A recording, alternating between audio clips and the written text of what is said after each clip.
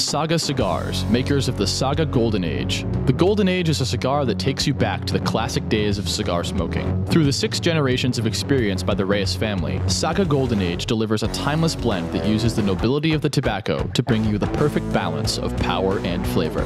It narrates better than words the history of a family's tradition in tobacco, delivering a cigar much like the ones they used to smoke in the times of Hemingway. Saga Golden Age is a full bodied, full flavored Dominican Puro. With tobaccos from one farm, the blend features a Corojo 2006 wrapper and filler from original Cuban seeds grown in the Dominican Republic. Available in four sizes at an affordable price, the Saga Golden Age is sure to please and take you back on a journey to yesteryear. Rocky Patel Premium Cigars, the Tabaquero, developed and blended by Cuban master of tobacco Hamlet Paredes. This cigar is an exciting addition to the Patel family, featuring traditional and rare sizes, handpicked by Hamlet himself. Smoke Hamlet Paredes today. For more information, visit them on the web at rockypatel.com and be sure to follow Rocky Patel Premium Cigars on Twitter, Facebook, and Instagram.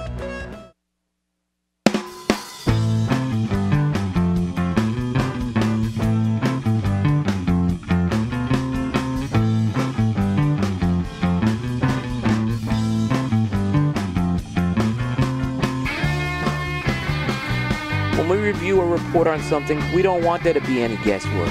We believe the information must be accurate and it has to be reliable.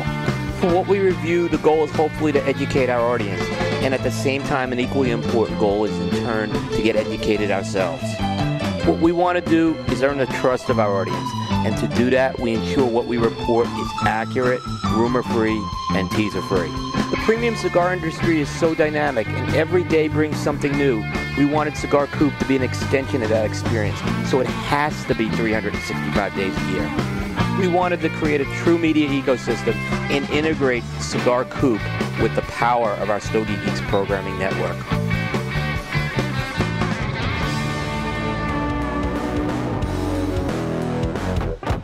Welcome, everybody, to a very, very special Stogie Geeks episode. We're here in Charlotte, North Carolina at the Palm Steakhouse um, with George Padron uh, for a very special uh, event here. George, thanks for making the time to come here today. It's my pleasure. My pleasure to be here with you. We really appreciate it. George, it's been a real exciting. I, you were here two years ago, and the last two years, there's just been a lot of excitement, I think, around Padron with, with a lot of the things you've been doing, as well as just maintaining some of the best cigars out there. Um, tonight, I know one of the cigars we're talking about is um, the Padron 1926 90th. Um, very different Padron cigar than we've seen in the past, in that um, from a packaging standpoint and even from a Vitola standpoint. Why don't you talk a little about that project? Well, the, the 90th uh, was a product that we introduced to celebrate my father's 90th birthday. Um, while it may look a little bit different, it's a similar blend to the 1926. Um, you know, the product is uh, is unique in, in many respects. It's round. It comes in a tube, which are new things for us. But um, you know, I, I think we're very proud of the fact that it's a product that is honoring my father's my father and his his 90th his 90 years of being you know alive and in the cigar business and all the things that he's done for for all of us. That, that was uh, not a box press either. That was uh, round. Can you explain? Was that uh, what was behind that? Uh, nothing. It was just uh, we decided to make a round. I mean, really not not that complicated of an idea. Just you know, we decided to change and go back to to a round format for just for this specific cigar. Okay. What were some of the things in terms of going to a round format that were maybe a little different? Because Padron's known a lot for their box press cigars. I mean, throughout the years, what were some of the things that maybe were a little different with, with going with a round cigar? You know, honestly, not much. The cigar is round. All of our cigars are round. They're they're squared after they're made.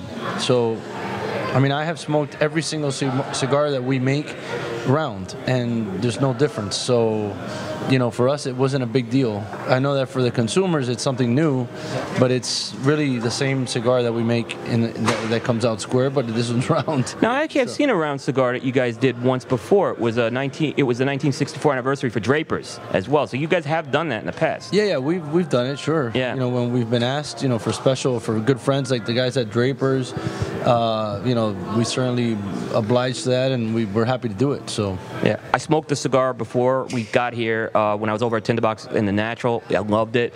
Um, it was everything Padron um, and more. I mean, it had a, it was a very smooth cigar, and it had all those great qualities that I enjoy in the 1926 series.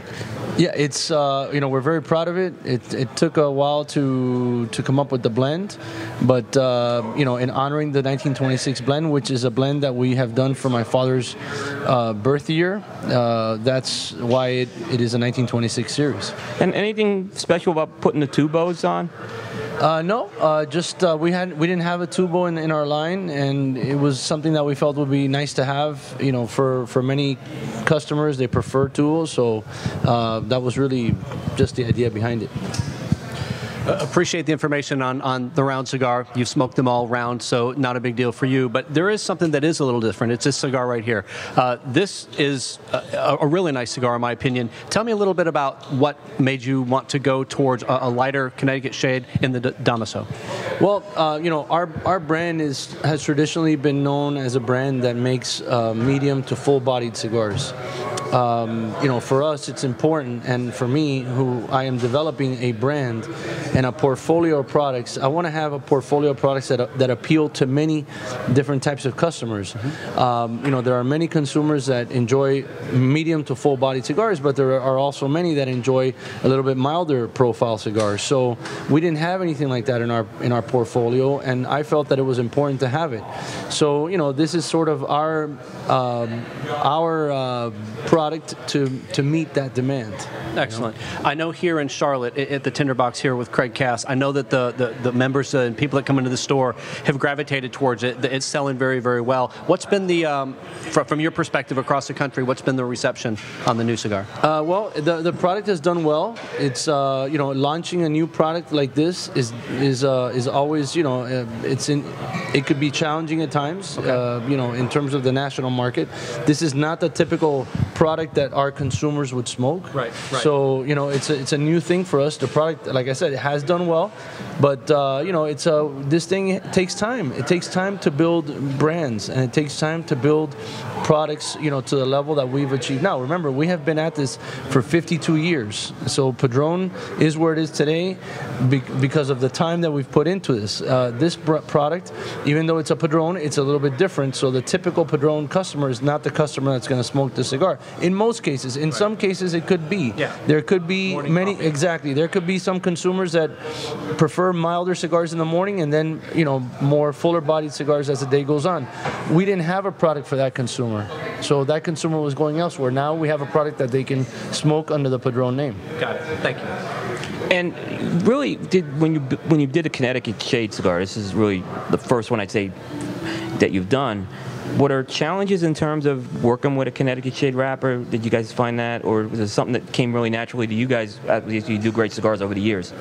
Uh, you know, the, the working with the Connecticut Shade wrapper has is, is, is different than working with the types of wrappers that we use. Uh, but you know, we adapt to it, and you know, it's not that complicated. You know, after you know, we've been at this for a quite a while, so Right. so that we figured it out quickly. But um, you know, it's it's a much more delicate wrapper to, to work with. That's for sure. Yeah.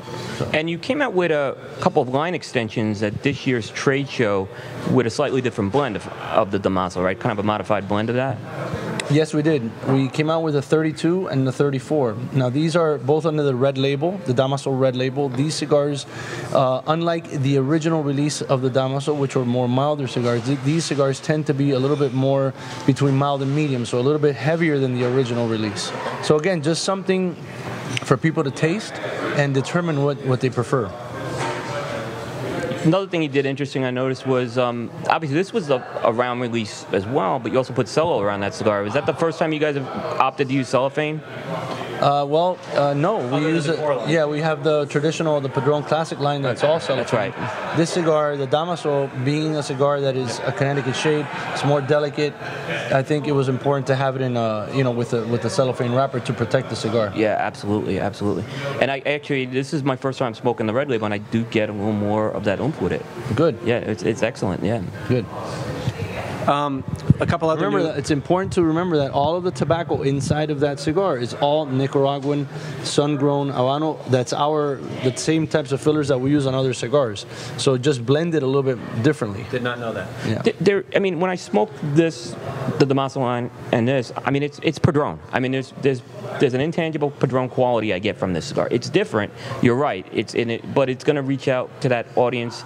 You know, most most smokers are milder smokers, so this really is a great opportunity for Exactly. Padron here for you guys to capitalize on. Yeah, I mean, it's important for the retailers. You know, many of the consumers that walk into retail shops are looking for mild cigars. So, just to think of it in terms of the numbers, let's say you have 10 customers that walk into a retail shop, six, five or six may be asking for mild cigars. We didn't have any cigars in that category, so we're immediate, immediately excluded from those six customers that have Yep. walked in the door. They, the retailer did not have a Padron product to offer them in that category, so now we do. How about your dad? Is he happy with the project as well? It seems like you're very my happy with it. my dad's always happy. my dad's always happy. He's, he's got a lot of things to be grateful for, you know. So he's he's a very positive man, and he, he's worked his ass off to get to where we are today, and he's got to be happy. you know, when you, when you think about, you know, 90 years old, I, you know, that's a great milestone. 50 years as a company is 52 now. 52 now. You've got 52 now. That's amazing. I mean, that's just an accomplishment in any industry. You guys should be really proud of. I mean, obviously you are, but this is that's, you know, so that's great. Um, a couple other cigars uh, that, that have hit our shelves recently um, is a, a variation on your 64 blend, the, the Hermoso. Uh, could you talk to us a little bit about that cigar as well? Uh, the Hermoso is uh, part of the anniversary line. It's the same blend. It's just a shorter cigar. You know, I think that in many cases there are consumers out there that prefer m- smaller cigars, especially now that coming winter is coming. People don't have as much time to smoke. This gives them a, a, a great cigar that they can smoke that doesn't require a lot of time, gives them a lot of flavor, and it still has the you know the anniversary characteristics. Did you have a couple different sizes and shapes of the Hermoso that you tested before arriving? We, we tested we tested many different sizes in that you know profile of cigar, uh, and we finally settled on that one. So we're very happy with it. Uh, same ring gauge as the 1926 number nine, is that Yeah, right? yeah. Okay. Yeah. Nice cigar. Uh, I, I smoked that quite a bit in the uh, in the uh, Maduro, uh, and you're absolutely right. I walk the dog. It's a perfect cigar. Great. Absolutely. Thank you. And on the other side, with the 1926 line, earlier this year you released the um, the 1926 uh, number 48 TAA, which goes the opposite. It goes to a I shouldn't say opposite. It's a bigger cigar, a 60 ring gauge in the 1926. Yeah, that that was uh, mostly just a, a special project that we did for the TAA members. Uh, you know, as you know, we are part of the TAA, and uh, Tinderbox is also a part of the TAA. Uh, they and on on many you know over the years we have produced special cigars for the TAA members, and you know some of you uh, of your audience may not know what the TAA is, but the TAA is the Tobacconists Association of America. It's comprised of maybe the top you know 70, 80 retailers across the country, and uh, you know they have this organization that gets together, and you know we're a part of that. So it's uh, it's a Do great limited thing. size, limited shape, specifically for the TA, yeah, right? Yeah, we do that. So. Yeah, I know. There's a couple of them that you've done. Um, the Bellicoso in the 1964, and the number 47, which when I was at the trade show, I saw now they're going to be a part of your regular portfolio. Right. Tho- those cigars were originally uh, limited edition cigars produced for for the TAA. Now we have incorporated them to, into our regular offering, product offering. The um, on the 47, uh, just personally for me, I'm a big fan of the Exclusivo. So when you did the 1926 and the Exclusivo size, that is a killer cigar. Fantastic cigar. Both in the natural and in the Maduro, offering something different. Just really enjoy both of those. Yeah, it was interesting because the the Exclusivo is a great cigar. For some reason, the size of that cigar is is a per, blends. The the flavor of it is very consistent. It's very unique. Yeah. So it was a simple thing for us to to just make the same blend as a 26, but in that size, and it, I think it worked well. So, you know, just another product for people to have and to taste. Okay. Um, we're going to transition a little bit over to the FDA. Um, and just interested in uh, a, man of your stature, you guys have been doing this for a number of years. Really curious to see, you've been around the block more than a time or two. So, in terms of regulation, we know that the FDA is going to regulate. But from your perspective, um, what are some of the things that you're optimistic about? And then the things that you hope maybe this new uh, administration can kind of change a couple of things from from maybe uh, predicate date or something like that. Just want your take on that, if you could. Well, um,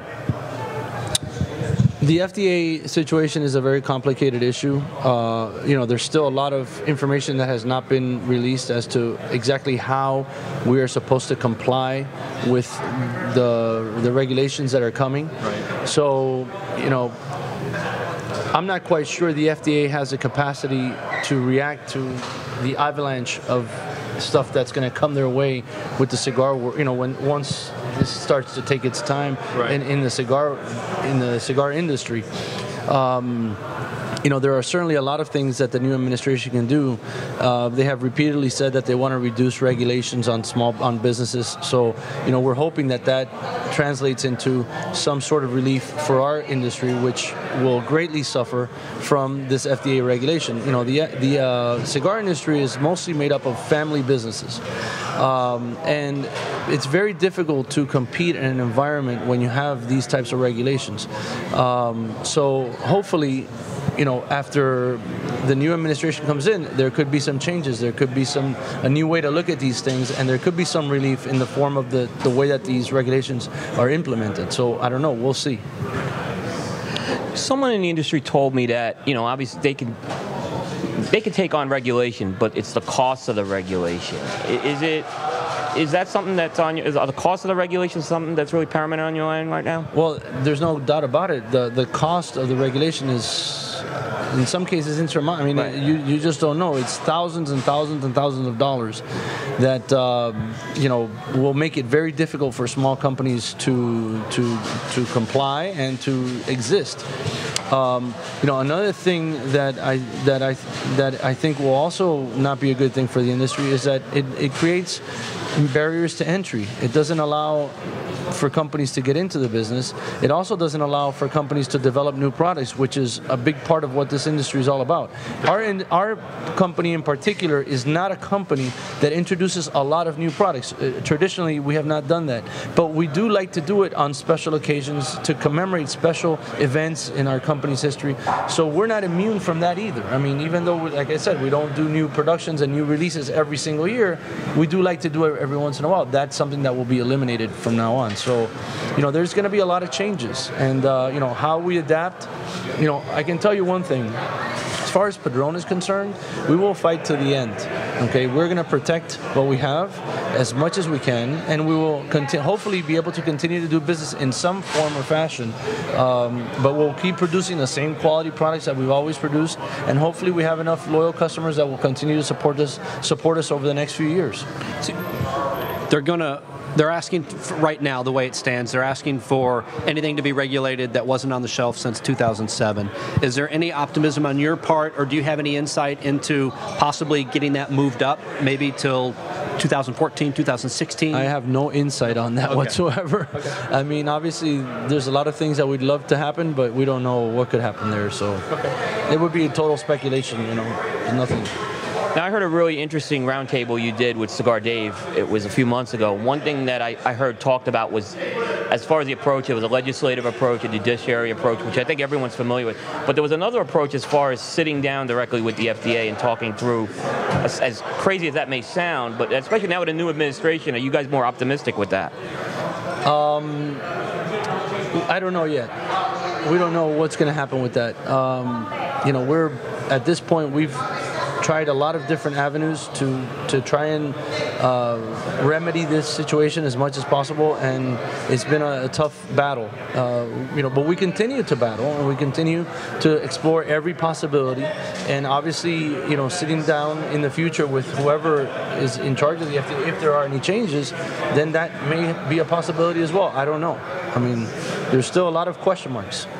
No, it definitely, definitely. But products such as uh, the Damaso, that's gonna obviously you, you're gonna you're gonna put that into going forward, right? You're Yes, gonna- yes, yes, So that's great news for a lot of Padron fans. So that's great.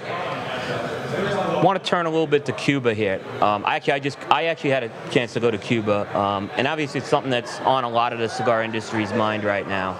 You know, obviously there's been some events with the death of Castro, um, some of the loosening of regulations. What, I just want to get some general thoughts with you on what you've seen happen over the past few months, and you know what you think about that. You know, as far as I'm concerned, not much has changed in Cuba with respect to to our business in our industry. Um, you know, there's still an embargo. Uh, it's still impossible to go and do any type of business with with the Cuban government. So, you know, the only thing that we can look forward to is what could happen. What may happen? They could lift the embargo. They they may open up trade, you know, between the countries. That all of those things could be great things for the cigar industry. Uh, I'm for, I for one and our family, we are not concerned with having Cuban products enter the U.S. market. Uh, we look at that as an opportunity for our products to compete on in the U.S. on U.S. soil. You know, with our distribution channels, with the way that you know we know this market, and the way that the consumers know our products. Okay, which is very important. We have a very a lot of loyal loyal customers that are co- accustomed to smoking quality cigars that are consistent. Okay, so I'm very confident that if we continue to do what we do and just focus on our product first and foremost, and focus on the quality, the rest will take care of itself.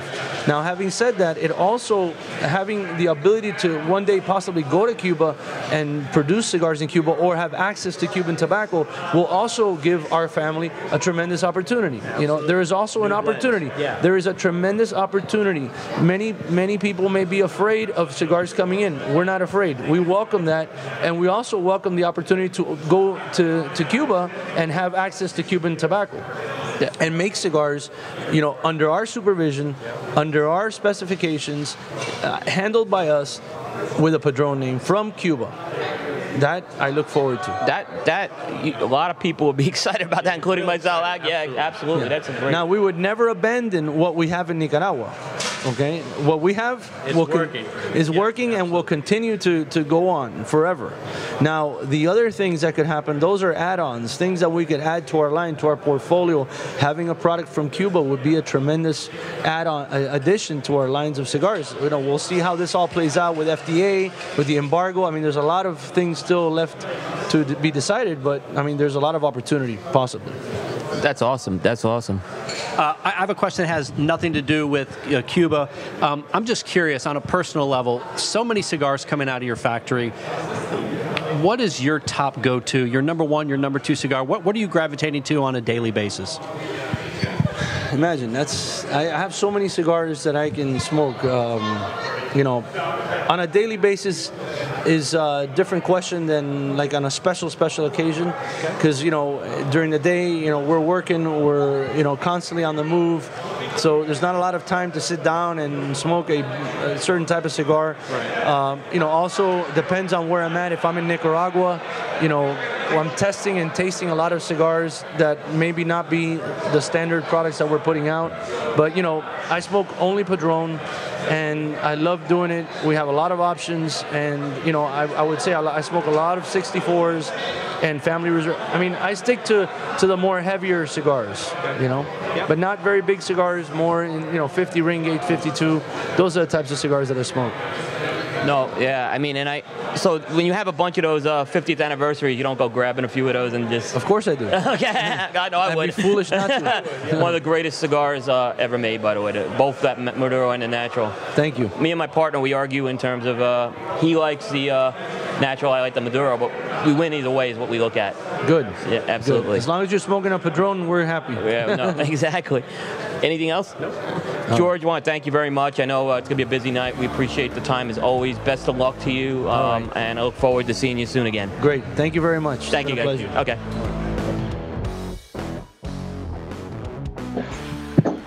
Welcome back to the Stogie Geek Show, episode 215.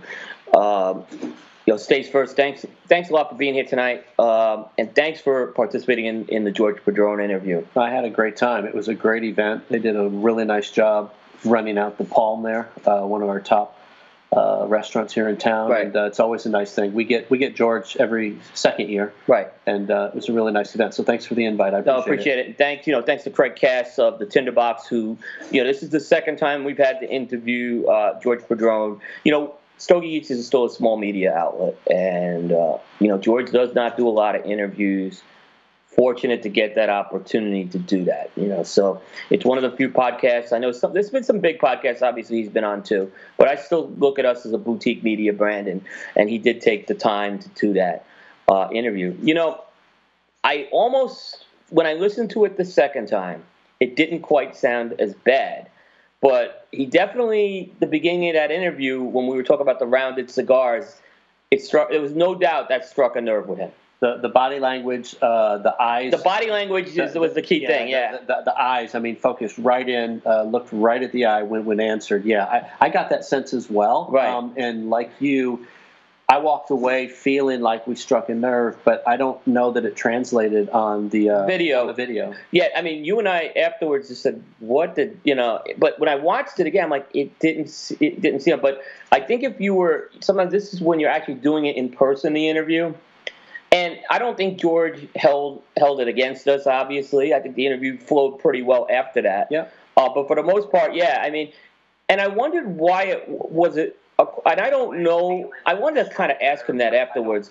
Was it an issue of maybe he was asked a question a hundred times, or was it more maybe what he said is it's not a big deal for us. What we did this. Well, I mean, one of the things that I didn't think about, right, and he was exactly right. Every they don't make square cigars. Every cigar is round. They're smoking them. that, They're yep. testing them, right?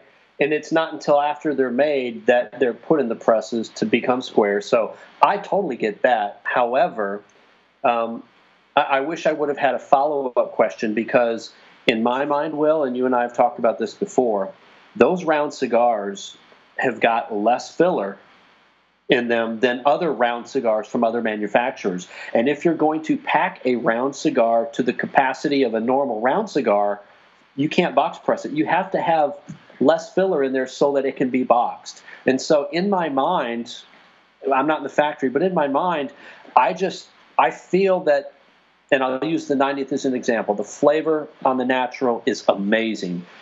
But it's a little too effortless on the draw for my personal liking. It's a, it's not a it's not a yeah. It's the combustion's fine, yes. but it's a loose. It's a very airy, open. It's a very open draw. Well, and for a Toro, it smokes very fast, It, it absolutely right? does. Yeah. So, so in my mind, again, and for me personally, I would have expected to have a little more filler in there, so that the Toro lasts the length Absolutely. of a Toro. Absolutely. but again, that's just me, you know, wanting the world according to me, right? Um, the cigar is phenomenal. It stands on its own. It'll it'll be a very good cigar. I'm sure it'll age well. But I want my round cigars to have a little more filler and to last a little longer. It was just too airy for me. Yeah, I think we talked. And again, it's not to knock the cigar, uh, because in the end, the the only negative I saw with it was it just smoked faster. Yeah. I didn't have combustion issues with it at No, all. I didn't either. If burn issue was great. Right. Flavor was fantastic. Uh, the burn was really even. I mean, I didn't see any construction issues there. no, It was just very loose. That was my only comment. right. And Right. so um, I guess, and, and you know what? To be honest with you, when the Damaso White first came out back in the summer, um, I don't know if that's when they were released, but that's when we got them in About- the store. The Damaso Uh, Whites came out last summer. Yeah. So when it was uh, around May, June, when they came out, um, I said the same thing. I said these these are too loose. Um, you know, they're, they're used to making box press, and there's not enough filler in there. That was my own opinion, um, and I just felt that that was the same thing here. Yeah, I um, you know, that's that's a fair point. You know, so you, the other thing that I took away was when we got into the Damaso conversation, and you know, I think I've listened to a few interviews with George in the last year, and I, almost think he's been a little bit on the defensive about Damaso. Um, that's just kind of the way I'm seeing it. Where I think he's been under. I think there's been some criticism with that cigar. Um, and it was I saw we. I don't think we criticized him in there. I think we were very. Right. But I think there was a point where he mentioned about launching a brand and how difficult it is to launch a brand. You know, in that interview. No, and and I agree, and I, I think everything he said made sense to me. Right when De, Damaso White came out, people were like, "Whoa, this isn't even like a Padron. Way too mild." Right, and I think that because of that, they came out with Damaso Red. Right, they came out with the red with a little more Right. umph to it. A little more, Um, both very good cigars. One's a little more strength and flavor and body from the other, but you know maybe there was maybe there was pushback across the country that you know Padron folks were not expecting it to be that light. Who knows? You know, could it be? Yeah. So you look at it. Is originally when Damaso came out, they were targeting a segment of the market, but in that process, I think it's very possible that they ignored their core strength of the market. You know, does that make sense? It does because the person who's like he said in the interview, the person that smokes Padron, they don't smoke mild cigars, Right. right? The mildest Padron outside of Damaso is medium plus, right? Yeah. medium plus to full is is their in Nicaraguan Puro. That's Right. That's their wheelhouse. So I think their normal audience, it's probably not a smoke for them unless those folks do smoke other things in the morning. But I think with Damaso is that they're going after a different niche market. They're looking for another consumer base to land on and then maybe transition to the other stuff. Yeah, and you know, going to that red label, they have the torpedo. Yep. And and I'll say that the torpedo gives you a little more. Uh, it tightens up a little on the draw a bit with Yeah. that one, Yeah. which is why I did enjoy the torpedo. It's a 34. I just looked it up. Yeah. He came Um, out with the 34 and the 32. Yeah. The 34 and the 32. You know, I've heard some talk that they've reblended the other the white label. I didn't want to ask him that. The only thing that they they have said is that they. I can tell you that the red label definitely smokes different, Yep. and it's definitely like I mentioned in the interview, it has a little more oomph to it. Yeah. Um, and I think it was, an, like I said, I think it was an important step that they took to do that. Um, It makes sense. Yeah. Right. I mean, it- everything that they do, they're gonna they're gonna attack different markets, right? So now they've got a cigar that is a perfect morning smoke with coffee. Yeah. If you are a cigar smoker that smokes in the evening but you don't like full body, Damaso's there for you. So. And, and he's right. It's going to take a while to establish that brand. That brand's probably got a little more uphill battle than, say, the 90th, right? Right. The Padron 90th, it's already being smoked. People who smoke it, they're saying it's a home run. They like it. Uh, so flavor is, is there, but uh, Damaso's probably got a little bit of an uphill battle. yeah, Yeah, I no, would agree. And, and so he's probably a little cautious and probably a little nervous about that. right. No, I would definitely, I definitely would agree on that. Yeah. Um, we talked about our Hermoso. Yep. So it was interesting. I think we've talked about it on the show a few times how they kind of launched that out. The uh, the different si- they they did some test marketing with that in terms of different sizes. Different sizes, different shapes, all the 64, some a little more amped up, hot burn, uh, uh, uh, pepper spice up front. Others a little more dial back a little bit based on the ring gauge. Uh, I know that it the tinderbox where we got them, we got uh, we got the a smaller size. Oh. It was more along the lines of the 35 and the Principe than what was orig- than what was finally released. The final release was a a wider, thicker ring gauge, but the ones that we got were actually smaller. And to be honest with you, the Hermoso that is released now is, um, in my mind, I think I like it better. Um, the smaller one had a great pop, right? Like if you smoked the the Dirty Rat, or if you smoked Right. uh, some of these other smaller, stronger, you know, uh, right in your face pepper bombs. Um, the Hermoso was kind of like that. So if you like that, you miss out. But um, I, I think I like the Hermoso where it stands now. Yeah, I think um, I'm in agreement with that as well. Although I did like that 4x50, 52 size that came out. I wonder if we'll see it because, you know, they did get it out before August 8th. They Uh, didn't yeah. call it Hermoso. Well, they didn't put Hermoso on the box. No, it wasn't on the box. It wasn't on the box, but I remember. I remember he sends. Stace sends me this this picture on the phone one night, and he's small. Look what I got. I'm like, what? What is this? I'd never because you look at that. I had never seen the the one like that. Right. And then you're saying Hermoso. We we ended up picking some up. We spoke to them on the show, and we thought they were great. And then when they hit the market, we all start looking at these aren't these are bigger. Yeah. Well, what's up with this? Yeah. And then aficionado was reporting it was a 54 at one point, and then it was it turned out to be. And it turns out everyone was right. They had all these different sizes. Yeah. out. Now, what I don't know, and I, I wish I could go back and ask a follow up question. I'd like to know how many different sizes. Right. We got one in, in here in Charlotte. Uh, I'm wondering if they had, you know, four, five, six different sizes that they were trying, or did they just have two? Right? I, I don't know, but I don't know. I, I, from what the way I got it, I, it sounded like there was a, more than two, uh, but I don't think there was like 20 of them either. right. Yeah. But I got the impression there was more than two, and I don't know exactly how they made the final. Was, was the feedback? You know, I could see why they went with the 56, the 4x56. Yeah. Because they didn't have an offering in that. No, you're right. They didn't. Now, I would say why not go for 4x60? But then again, you know, you don't know how that's going to smoke at that point either. Yeah, and George said himself he typically only smokes 50, 52 ring gauges. Right. He doesn't get much Right. bigger than that. Yeah, So yeah. yeah. Um, I thought his input on the FDA, uh, his uh, information on Cuba, was was interesting as well. Um, you know, he he's got some insight on some things, but he has no idea on others. I, I think it's really the whole FDA thing, as far as I'm concerned, it's a big question mark. I just I was. I didn't know if maybe because he had been involved with IPCPR, CRA, he's been in Washington lobbying before. I didn't know if maybe there was something that he could tag to us, but pretty much everything he said in the interview was stuff that we had heard. Yeah. I didn't get anything. Like I said, it was nothing new I got out of that either. You know, I mentioned the Cigar Dave Roundtable, which, you know, if you hear that, that was something where I got new information out of, um, where they talked about the direct negotiation with the FDA. right. It was the, and, here's the thing. I kind of wrote something about this over the weekend. I really think the cigar industry completely blew it. By, by look, and I don't begrudge Cigar Dave for having a, an exclusive. I, I think it's wonderful. Yeah. But that should have been something live streamed on on Facebook, Yep.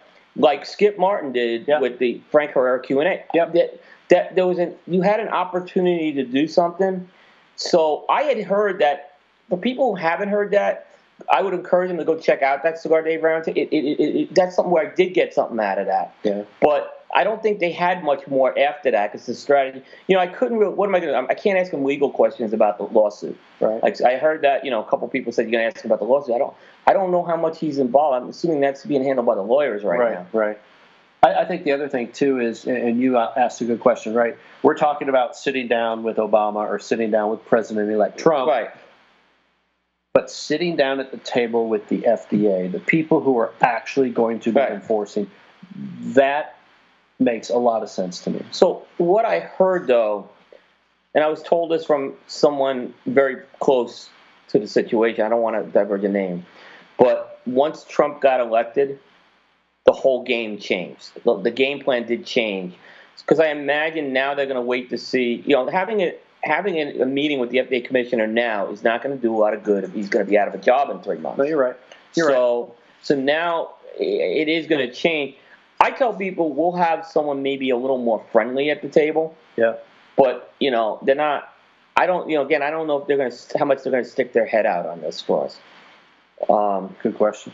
Good point. Yeah. I, I don't know. I don't Yeah. know.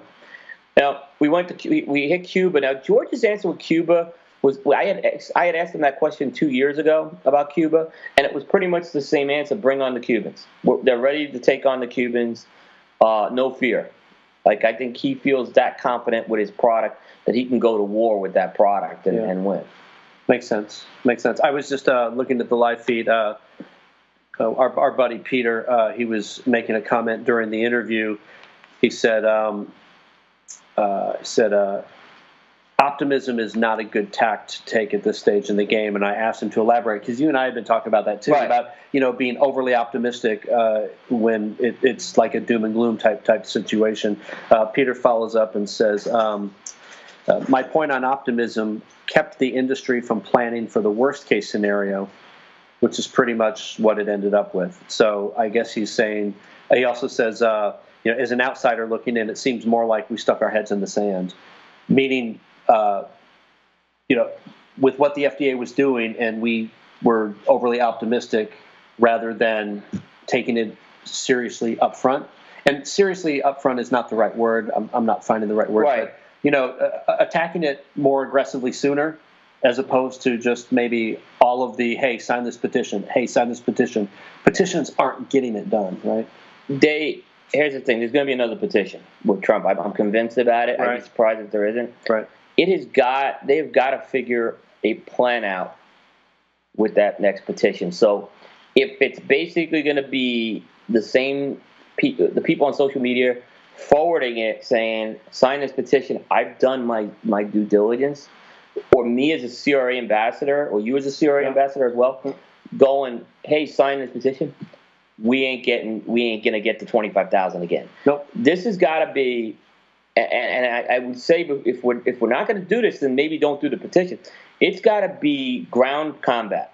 Yeah. it, we have got to people have got to go into their stores and get 10 people to physically do it in front of them. That that is the only way that will have any effect. That's why every petition has failed. And i think we're petitioned, and we talked about it on the show in the past. People are petitioned out Right. but i do believe the other thing i keep going back with with the optimism comment and i've been accused of being very pessimistic lately but I can't help it. We have no wins. You know, Donald Trump talks about wins. This industry has zero wins, and I hate saying that. I, Right. I know people work so so hard. I hate saying that, but we have no wins, and that's where I'm kind of like. At this point, I don't really want to hang my hat. I don't want to give my hope. You know, why I was so critical about Giuliani, Stace, is because I don't want to be let down again. I get it. And that's why I don't want to be let down again. I get it. I think George is. I think George is getting tearing it back to him. I think he was. I don't think he tried to paint any sort of a picture there.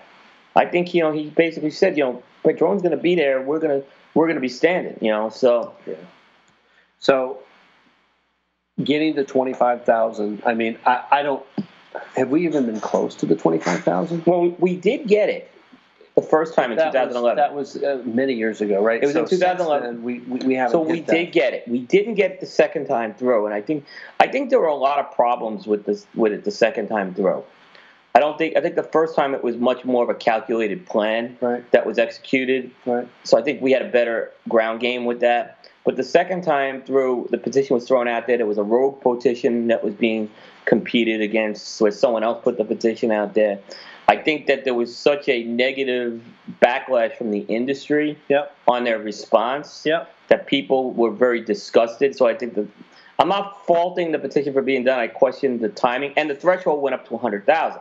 Right. So right. we have to now look at, and I'm not trying to kind of look. I think that Vapes is in this with us as well. Vapes didn't get the hundred thousand either.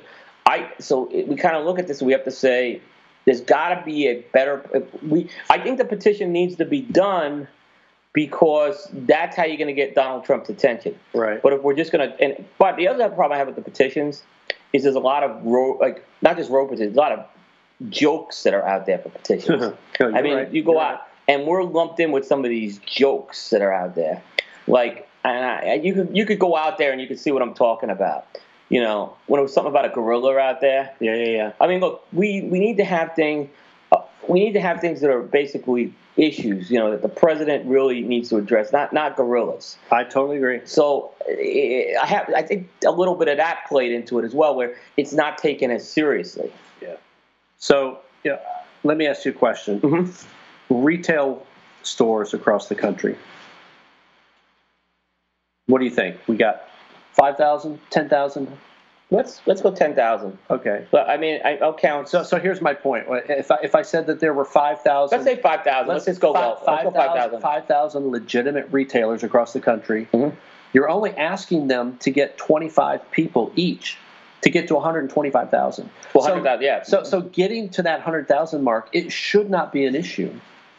I mean, Yeah. if the, now uh, I will admit that I don't think every retailer is tied in with CRA. So there are some that are probably rogue, but but you know, in my mind, we should be able to hit that number easily every single time. But but yet we don't. we don't. And here's where I'm gonna. And I'll put some of it. Look, it's a shared responsibility between the retailer, the consumer, and the manufacturers. Yep. I've seen very few cigar reps having people sign the petition. Yeah. I've seen, and, and right now these regulations affect their jobs as well as the retail jobs. It, like I said, it affects everybody. I'm not saying it doesn't. Right. But I, I almost feel like the people who are working in the manufacturing sector use, oh, we put it on Facebook, it's good enough. Yeah, It- it's it's not. not. Have you gotten 10 people? Like, I tell you what, if I was an owner of a company, I'd have a quota with that petition when Yep. it's out there. If you don't meet quota, I'm sorry. You may it's going to be like you don't meet your sales Yeah, number. well, well, let's look at it. If if there are 5,000 retail stores, right, and if people are listening, Mm-hmm. right, this this is the the push, right? When the petition comes out, right, we're asking all 5,000 stores to get 20 signatures each, right? To me, that seems to be a very doable goal. If every single store gets 20 people to sign a petition, you're at the 100,000 mark Yeah. easy. it literally has to be you're up at the register and that person's got to submit it right there. Yeah. I, I, I don't, I or fill out a piece of paper and, and deliver it. I don't see any other way. I, I almost would say don't put the petition on Facebook. Right. I, I almost think that's doing more ha- harm at this point. Yeah. So- I don't know. I'm I'm, I'm mixed bag on But that. I, but I do believe there will be a petition because that's the way it's going to get to the president's attention. right. They have to kind of show that, and we have to kind of show we're going to get a lot higher. Than, we have to get to 100,000. Yep. 99,000 will not cut it. Right. If we're serious, Yeah. and uh, is the industry willing to make the investment that's going to take? I, I don't think so. I don't think they are. Yeah. I hate to say it. I'm willing to kind of do my part on it. I think you are, but Yep. we need a lot more than just us. No, totally agree with Yeah. that. That's that's the call to arms there. Yeah. Back on Padron though, um, I, I'm I'm excited to see what they're going to do for 2017. Okay, so there's one thing that I've seen floating around. It's a stealth product. So JR Cigars, and I'm going to say because it's on their webpage. Yeah, it's on the website. JR Cigars has listed, and I've gotten confirmation this is a legitimate product. It's not a mistake. Family Reserve. Family Reserve number 47. Not The year that they skipped and went to 85th. the year they skipped and went to 85. Yeah. That was the that's supposed to be the 2011 release. From what it was listed on the webpage, it looked like it was slightly. It was the same. It was a slightly different length. I don't remember if it was shorter or longer. Right. But, it was, still in the 10 count Family Reserve boxes. yeah, Okay. still. In the, but I think it was a little shorter than the 85. Okay. So that's that was interesting. Let me ask you a question here. What's the point in waiting with that? Why not just say it's out now? I mean, I understand even if you can't meet production yet, Right. why would you wait? To why would you wait? Let's say let's we're putting an assumption that it, it, they're going to market it at some point. Right. What is it? I have not seen any advantage to waiting to put this out The there. only thing that I could see, Uh-huh. and it's all you know, putting my marketing Uh-huh. hat on, is you want everybody to jump on the 90th because that's what you geared towards. Oh, I get it, yeah. So, you know, we're talking Family Reserve 90th versus Family Reserve 47th. I, I could, I mean, it's another product, but, you know, does it really compete? I don't know. It's a 64 versus a 26. I- I they get- put out the TAAs anyway, so they're competing anyway. They're so competing. I- I, don't know. So that's the only thing that makes sense is is that they maybe don't do it Yeah. to compete with the So- 90th. so Maybe the 47th will come out next year or this So, yeah, uh, but I'm saying if they wait till the show, then that window they have to Oh, it yeah, has yeah, to get yeah. registered Yeah. shorter. and they're going to be But- looking at the 91st or whatever they're going to be calling the next. Yeah, so I think obviously this is something I would look for because if you go to jrcigar.com, you uh, you go to the Padron page, it's there. I, I spoke to someone in J&R who confirmed. I have not gone to the store and looked at it, but I did confirm it is a separate product, and the only thing I could put it is, is a. I know you don't like the word stealth, but it's it's a it's one of those products that have not been, you know, marketed yet. Yeah. No, I, I so I think it. we're going to see. I think we're going to see that this by the summer okay. you know, I think I think they'll still do something with Damaso, and I think probably this year's TAA cigars will will uh, the forty, the TAA 48s and the 26 line, which are the six by 60s. Yeah. they'll probably come into the line. Okay. Uh, that would be my next. go- I wonder if they pushed uh, Damaso into the uh, TAA so that they get a Padron TAA Connecticut. My sources have told me that there will be a TAA series this year.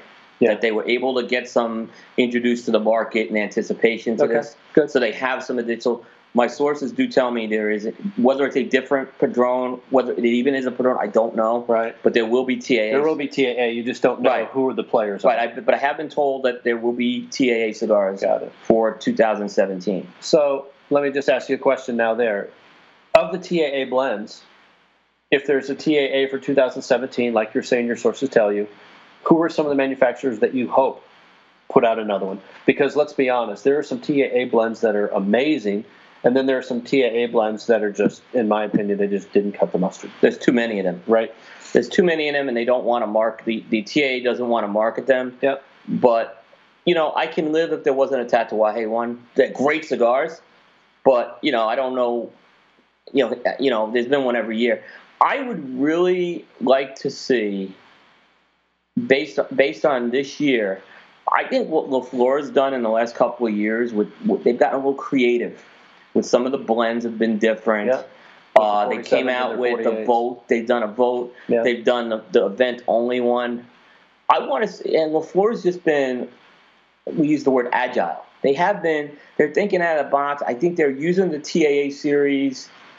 I want to see what they can do right now. I'm a big fan of, of what they've done the past couple of years. Right. But uh, in terms of Tatuaje, I loved what they did in 2015. That was the best. That was- that was one of the all-time epic TAA cigars. It was great. So um, I, I'd like to And see Pete them. doesn't need to market that cigar. It markets itself. I I totally agree. Right. And the 16s are selling well, but it's it's a little thinner ring gauge. Um, I don't know. At least in my store, it's not selling as well as the 15s. Uh, I think people prefer a little bit larger ring gauge than the smaller ones. Um, so I'm hoping that that Tatuaje does have one. Now, if there's a brand that's not done a TAA cigar that you want to see do a TAA cigar, and for folks that don't know, TAA is Tobacconists Association of America. They're like the they're like a group of 80 retailers that are kind of more of the prominent ones, and every year they do a exclusive line of cigars. Yeah. Um, is there a, is there a manufacturer that has not done a TAA cigar that um, has that you'd like to see do one? Dunbarton Tobacco and Trust. I knew you were going to say.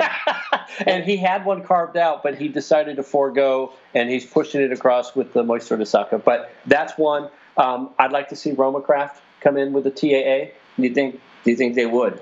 It's a small. you're you, know, they, you know what's funny? That They wasn't did- your question. Your question though. Was the thing. what, what I would they like. did Crowned Heads. Why not Roma Craft? Yeah, yeah, Why, exactly. why, why not? You Exactly. know, Skip takes one of the lines that he's had. It, Yep, come out with a new size, new shape, and, and Yeah. knock it out. So you asked what I would like. That's what I would like. Um, uh, my father's already done a couple. Uh, Davidoff hasn't done a TAA. I'd like to see a Davidoff. They did. TAA. Avo did a couple. Uh, yeah, but that's under the Avo line, a little different. Yeah, so uh, Avo did a couple. Yeah, I would like to see a Davidoff on there. Um, the one I would probably, I know he's done one technically already for Crowned Heads, but I'd like to see EP Carrillo. Yeah, no, that'd be rock I, solid. I- I think that would be really, really good. There. yeah, and he just coming off of the CA list, right? Top ten. I mean, that that, that would make Yeah, sense. yeah. That would be a good one I'd like to see Yep. as well. Yep.